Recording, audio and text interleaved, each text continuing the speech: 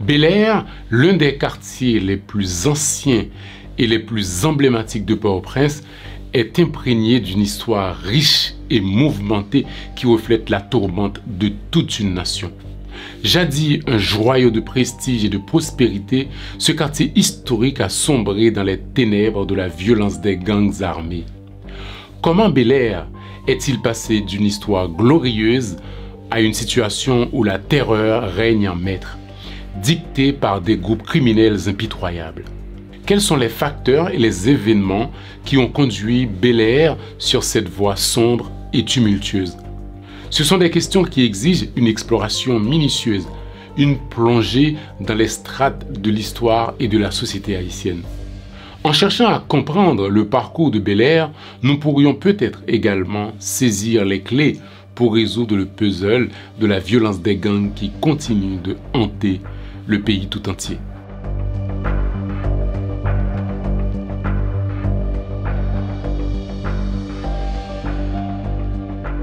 Bel Air, souvent décrit comme le cœur de Port-au-Prince, est bien plus qu'un simple quartier. C'est un témoin vivant des vicissitudes de la nation haïtienne. Un miroir reflétant les hauts et les bas de son passé mouvementé. Perché en hauteur près du palais présidentiel, le palais national, Bel Air offre une vue panoramique saisissante, semblant surveiller avec bienveillance la ville en contrebas. Fondé en 1758 par les colons français, Bel Air était à l'origine un quartier résidentiel construit en briques et en bois, abritant, on l'a dit, l'élite de la société de l'époque. Pendant la période coloniale, il était le foyer de grands planteurs de Saint-Domingue qui y avaient érigé de somptueuses demeures. Mais son histoire a connu des tournants tumultueux. Le 22 novembre 1791, un incendie ravageur connu sous le nom de l'incendie de la Sainte-Cécile a marqué le début de la déchéance de Bel Air. Cette catastrophe a profondément affecté le quartier, laissant des cicatrices qui se sont révélées difficiles à guérir. Mais le quartier gardait tout de même son charme d'origine. Après l'indépendance d'Haïti et le départ des propriétaires terriens, ces colons esclavagistes, la nouvelle élite haïtienne a pris le relais des anciens colons en faisant de Bel Air leur quartier de résidence. Pour son magnifique panorama, les membres de la bourgeoisie haïtienne s'y installaient et construisaient des maisons élégantes. Le quartier était alors divisé en deux zones, l'une résidentielle appelée Haut et l'autre commerciale Bas C'est au Bas qu'on trouvait euh, les hôtels, les restaurants et les banques. Et le Haut était caractérisé par la douceur de vivre, le calme et la tranquillité. Le 30 novembre 1894, un nouvel incendie éclate à la rue Macajou, tout près de la fontaine Madancolo. Cet incendie dévaste une partie du quartier et précipite sa détérioration. Certains habitants ayant tout perdu ont quitté le quartier. Et bientôt, le prestige de Bel Air commence à décliner progressivement. Au milieu du XXe siècle, des constructions anarchiques ont envahi le paysage, attirant une population plus modeste. Le quartier autrefois huppé est devenu le théâtre de tensions sociales et de luttes politiques. Au fil des décennies, Bel Air est devenu synonyme de révolte et de troubles. En 1973, l'historien George Covington a qualifié le quartier de verrue sur le visage de la capitale, soulignant les défis auxquels il était confronté.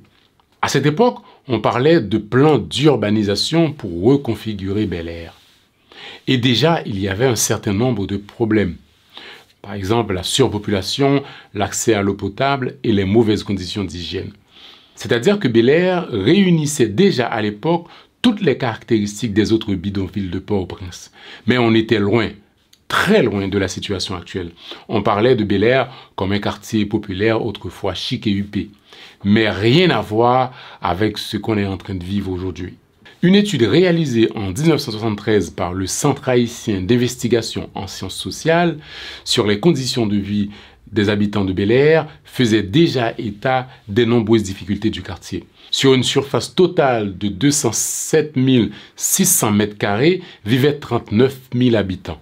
La densité était de l'ordre de une personne pour 5 mètres carrés. Seulement 2000 mètres carrés étaient inoccupés, soit environ un centième. 40% des maisons logent deux familles environ. Et ces maisons étaient en réalité des taudis où les conditions de vie étaient plus que précaires. Il y avait un individu sur chaque 2 mètres carrés 50 d'espace au Bel Air. Pas la peine d'entrer dans les détails, on comprend bien que les conditions de vie des habitants de ce quartier étaient déjà très précaires dans les années 70.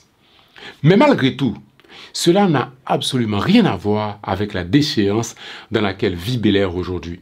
Depuis quelques années, le quartier est confronté à de nouveaux défis, notamment la montée en puissance des gangs qui exploitent sa position stratégique pour exercer leur influence.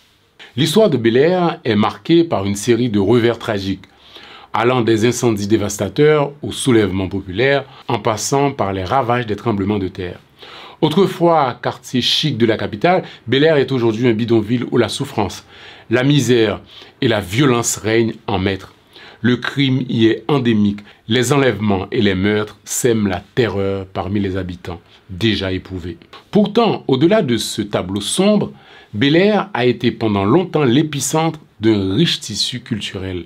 Le quartier abrite une communauté d'artistes et d'artisans qui, malgré les défis, ont créé des œuvres d'une richesse incomparable. Parmi les grands artistes qui ont grandi à Bel Air, on peut citer Franck Etienne. Il lui a d'ailleurs écrit un très beau poème titré Bel Air, Babel, Rap Jazz Créole. Voici un extrait. Bel Air aux mille frontières mobiles immobiles. Bel Air mythologique, le football aigle noir, la musique, jazz des jeunes. Bel Air Grand Rue, tête sans fil, Oui Saint-Martin, Mon Marinette, Canal orphelin des enfants naufragés, quartier sanglant, quartier cinglant, quartier fatra, quartier foutu, quartier bruyant, quartier brûlant, quartier douleur, quartier massacre. Incorrigiblement je t'aime et je ret'aime, mon beau Bel Air en miettes morceaux lambeaux que je colle et je recolle. Il faut savoir que Bel Air était également réputé pour ses célèbres temples vaudous et ses troupes raras pendant les périodes du carnaval. Donc tout cela constitue une longue tradition qui se perd au fur et à mesure. La tragédie a atteint son paroxysme avec le tremblement de terre dévastateur de 2010 qui a laissé Bel Air et ses habitants dans un état de chaos et de désespoir. Le quartier déjà fragile a été frappé de plein fouet, laissant derrière lui des ruines et des souvenirs brisés. Aujourd'hui, Bel Air est sous le contrôle de gangs armés. Les massacres se succèdent, jetant une ombre sombre sur le quartier autrefois florissant. La situation actuelle de Bel Air est une illustration poignante de la tragédie qui sévit dans tout le pays en poids à la violence des gangs. Autrefois quartier prospère et vibrant, Bel Air est aujourd'hui un théâtre de cauchemars où la terreur règne en maître et où les habitants vivent dans une constante appréhension. Les gangs armés exercent un contrôle brutal sur le quartier, semant la terreur et la mort à chaque coin de rue. Les récits de guerre entre fractions rivales sont monnaie courante, laissant derrière eux un sillage de destruction et de deuil. Les habitants de Bel Air, pris au piège de cette violence implacable, sont contraints de vivre dans la peur constante. Leurs vies sont suspendues à un fil ténu. En évoquant la déchéance de Bel Air, nous sommes confrontés à un reflet sombre de la réalité haïtienne, où les rares moments de tranquillité sont souvent étouffés par les flammes de la violence et de la désolation.